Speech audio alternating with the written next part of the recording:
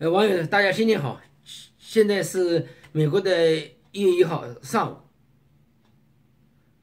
今天我讲的博客内容是什么呢？是昨天的内容。昨天博客太多了，来来不及发表，来不及写了。是新年之夜的内容，什么意思呢？什么事情呢？是关于母子之间的发生一些事情。我主要谈沟通问题，家庭成员之间的沟通问题。简单的说吧，就是说我母亲有记日记的习惯。他二十几年，他每天只跟我内容不一样。他不是写什么自己判断的情感什么，没有太多情感色彩，主要记每天做琐碎，买什么东西，送什么礼物，收到收到什么礼物等等，就这些东西。他以前买的那基本都是十几块、二十几块的，哦不不，错了，我讲错了，他都是一两块的，呃呃，但是是但但都在特别店、医院店买的，都是特别店，现在买买不到了，没了。现在要到文具店买，文具店呢都至少是七八块的。一本的，他舍不得买，所以他有时候以前叫叫人家买，最近这几年老人中心也送，每年是送一本。他但但他现在眼睛不行，看不清楚了，他需要送的，呃，他想要容易本就是每一行一行格子大一点，他他写的可以写大。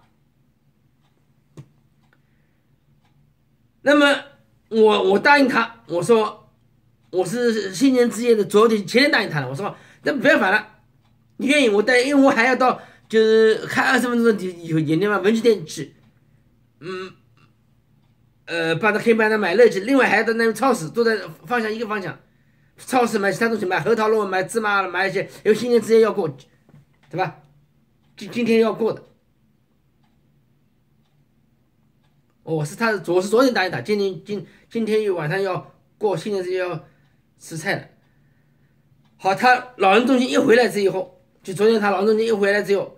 我呢，吃早早早餐以后，工作回家吃早餐以后，呃，反正慢慢吃了早餐以后，再做一些事情有点累了，现在打瞌睡了。正好他回来，我说这样吧，我瞌睡一下，你一个小时叫我，因为我知道我答应他，我要这样带他去到文具店。他家里家里的文具店是走路只要几分分钟，但是我呢一般没有在家里文具店买东西的习惯，为什么？除非急，我等着急用，一般所以我没有这个概念。要到文具店买东西，我都要到开二十分钟的路上，开二十分钟路的，呃呃路程去买，因为那里停车位方便，停车免费的。另外，我还可以买其他东西，中国超市都在那里，范中国的范围也大多数在集中在那里，非常方便。加油站呢也都在那里加油，这我我就在那里，叫洛中国华人叫洛城，但是这里呢。是因为高级住宅区，我说过的，这附近也有一家文具店，但是走路要走十几分钟路，但是停车位要付费，又比较贵，而且很难找到比较近的停车位，都要走路都要走好多分钟路。我母亲一般走不动，我就是扶她走，搀着她，她一般也走不得动。所以我现在到他那里去，那地方我要瞌瞌瞌，我要打个瞌睡，因为要他打瞌睡，呃瞌睡要是一个小时，我正好。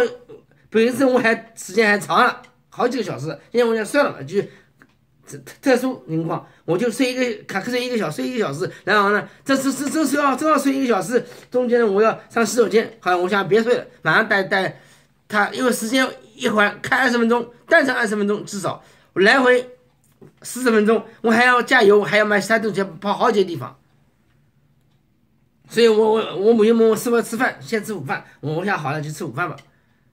在在折腾时间，再换衣服，搞又又一个小时，两个小时。等到带我带带他出去了，我一看，我我当然往那里开的。我母亲马上叫了：“哎，你这到到哪哪哪去？”我说：“到文具店，就到洛城文具店帮你去买乐基啊。那里我还要加油。为什么呢？因为我出门前我还跟我们说，我还我还加油呢。今天还加油，有一种。我母亲心里其实就犯嘀咕了，她当时没想，等到我，她发现我要走洛城，她说不对，她说我要就在这里买文具店买，我马上就跟我母亲说了，你在这里文具店买干嘛呢？只要开车两三分钟的事情，你早点跟我说，我饭也不要吃，喝喝水也不要，直接带你去买好子，我回家不是大大方方可以好好睡一觉嘛，是吧？饭也没必要吃，我呃两三分钟开车单程两单程两三分钟，我母亲就说我也搞不懂。你你你说么加油？我想这里的油油费很贵的，为什么要在这里加油？好，于是我们就抬杠争吵，啦啦啦争吵。我们基本每天都要争吵，因为我说的话，他说嘛，天生就是冲的，反正就就是喜欢抬杠。我一般不怎么跟他抬杠，但他每次都要跟我抬杠。我讲东，他要讲西；我讲南，他讲北。我以前在博客上写过好多次了，很多网友可能也没这个体会，也不相信这这些犯冲。而且我就 O 型血型，他他是 A 型血型，A 型血型的人有一个最大特点。就是以以绝绝对以自我为中心，强调自己喜欢的，而而且他觉得世界上所有的人都全世界都欠他的，他有这种感觉，好吧？咱们先不谈 A 血型，因为可能要得罪一些网友朋友。后来我就跟他抬杠，抬杠到到最后，然后他在我在复旦到店里，就停车位进了停车位没有，停得远的，停在远的停车位以后，在复旦下车走过去。他已经感觉冷了，但他要面子，因为我跟我抬杠，所以他他坚撑着走走走走，就负责撑着走进文具店。回来的时候他有点累了，他还是又因为我们又抬杠，他又硬是硬着头皮走，踉踉跄跄走，走到车子。但我们一路上还是在反正在不断抬。我今天要是说就就为了这点，我也跟他大家谈。母子之间，我今天跟我母亲说了，在车子车子里跟母亲说了，在。母子之间没有离婚的，对吧？再不远，大不了我儿子离家出走，出走，没有离婚的。但夫妻之间多少次马上就离婚了，这为什么？其实这这还是沟通问题。什么沟通？就是我跟我母亲说，你要叫你儿子办什么事情，做什么事情，你要说我要到哪里去办，你到哪哪个哪哪个方位的地方去买东西，要买东西，你自己想把想法想法说出来。我或是。我有我有我的想法，你有你的想法，不一定，今不一定能碰得在一起。